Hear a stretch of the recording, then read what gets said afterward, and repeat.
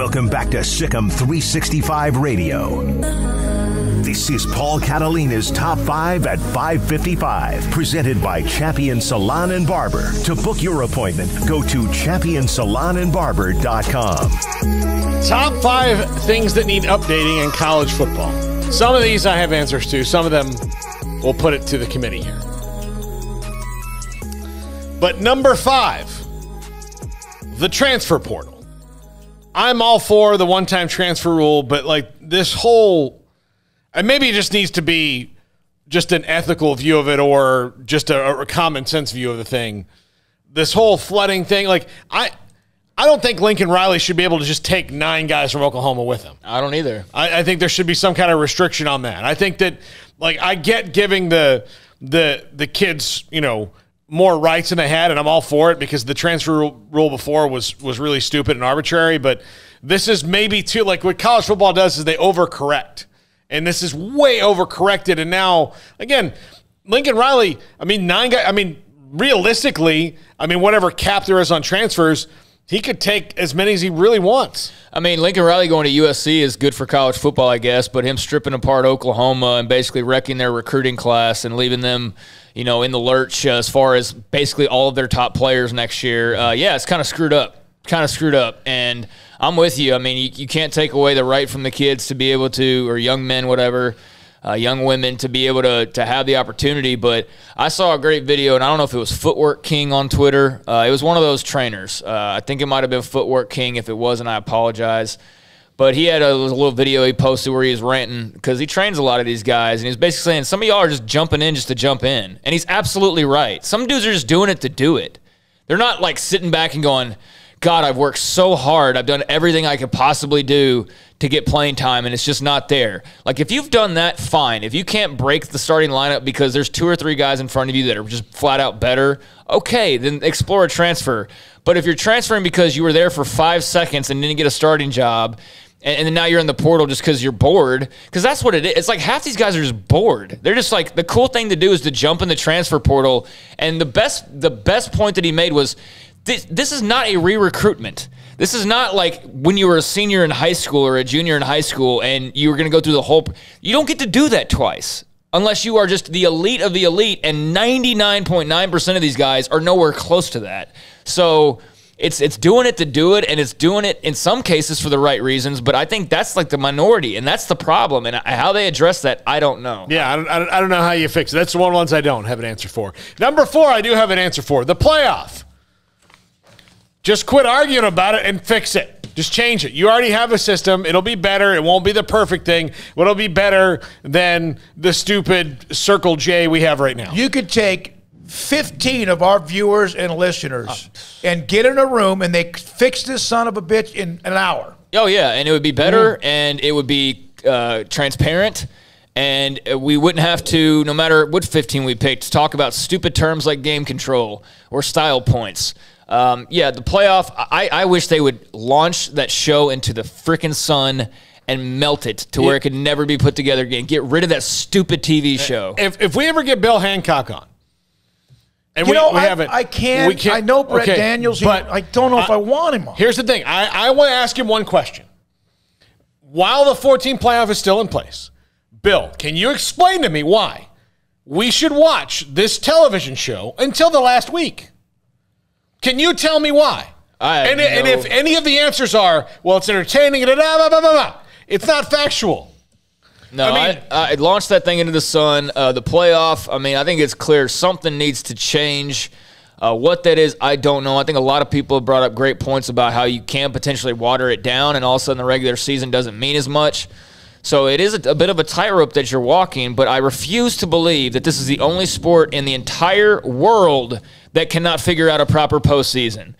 Because it is. It's the only sport. The other ones don't get into politics. This right. one is. Right. That's the. Well, hey, that's look, it. Here is the thing. Or just go to do what uh, they do with soccer internationally and develop a point system and don't have a playoff. Why do you need a committee yeah. to pick teams? Yeah. Why do you need a committee to pick your teams for you? Um, is beyond me especially this committee. And you know, Gary Barta, you are so full of it, dude. I, I, you know, I'm sure he does a great job with Iowa athletics and all of that. But like, I'd say that Jeff Long was full of it. Kirby Hocutt was full of it. all those. I, I'm tired of seeing you. Get off it- my TV it- and just and let's let's do something that actually makes sense. It's a it's a job very similar to being the press secretary for the president. Yeah. That what you say in the moment doesn't have to make sense. It just has to answer a question. Exactly. Like it doesn't like just has to answer the question, move on. All right. That's what they do. Number three, the targeting rule. Love Todd Barry's idea. Targeting one, targeting two, like a flagrant foul in basketball. Like if it's unintentional targeting, sure, give him a 15 yard penalty, but you can tell, you, and, and Todd Barry said, you can really legitimately tell the ones that are Oh, yeah. reckless and cheap and the ones that are Unintentional. Oopsie- Oopsies. This Yeah. is not a hard rule to be able to follow through on. And like, you know, but there are officials that will make this so complicated and make it like a 15 minute review of a thing that's clearly one or the other. But yeah, I mean, the targeting rule, I hate the targeting rule from uh, the standpoint of I like what it's supposed to be about, but I hate how it's now been used. And it's like such a, a massive penalty for teams. And a guy's just trying to go in and make a tackle. He's not trying to be dirty. He's not trying. He, he goes in to make a tackle, and the running back lowers his head, and now this guy gets tossed from the game.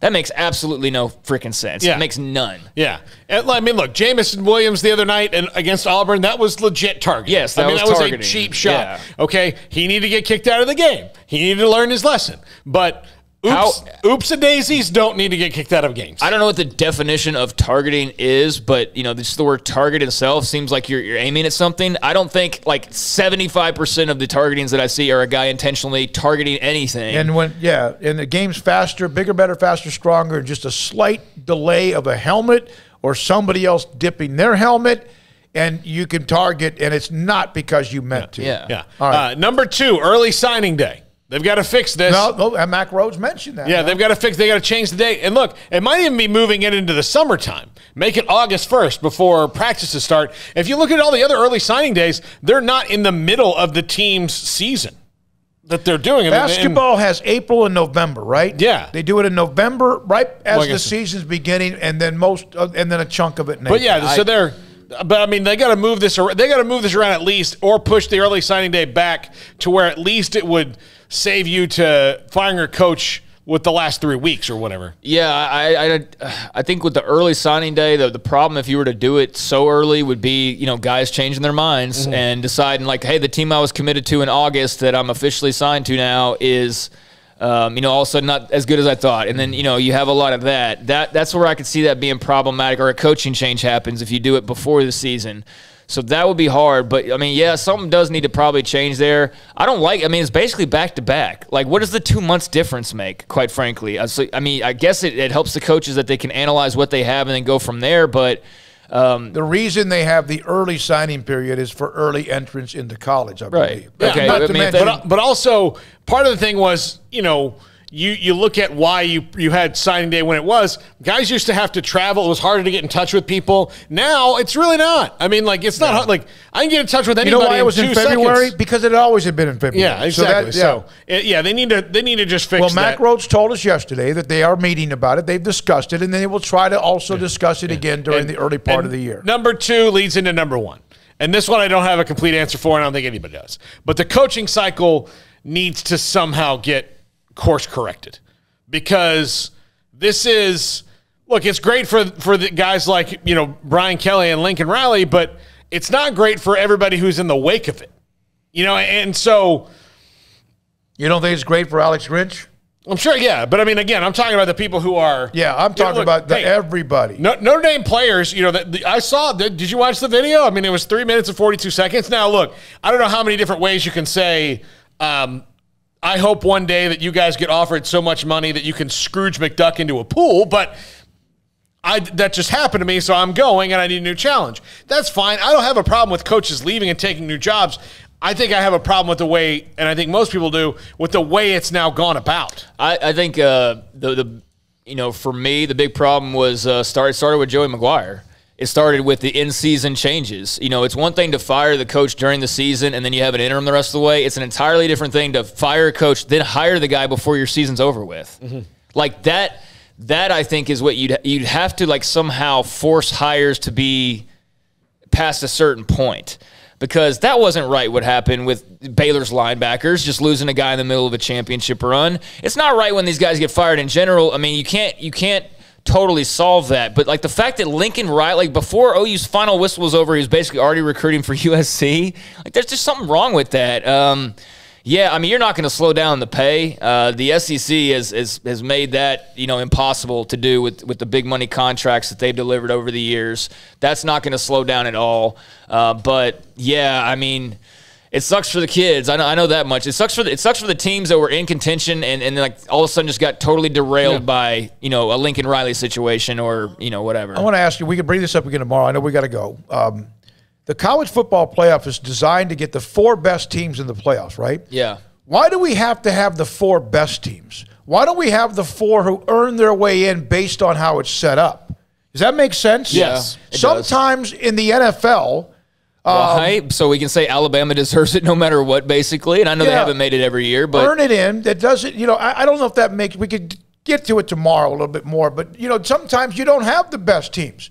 Sometimes a great team doesn't make the playoffs. Okay. Well, the four best makes it very subjective. Yeah. The right. earn makes it uh, out of their control to where there's no point in having a committee. And do you think those guys want that? I don't. From uh, UE2K, anything based on people's opinions sucks. All playoff spots should be earned on the field. It should be a tournament of champions. If you're not the best of the 10 or 14 teams in your conference, you can't be king. And look, if All you're if you're if they do an 18 playoff and you're number nine, well, sorry, you know it's not the same as being number four and having a great argument that you won your conference. If you're number nine, you probably don't deserve a spot. Yeah. All right. Uh, by the way, 23 years ago today, Bob Stoops was introduced as the next head coach at Oklahoma.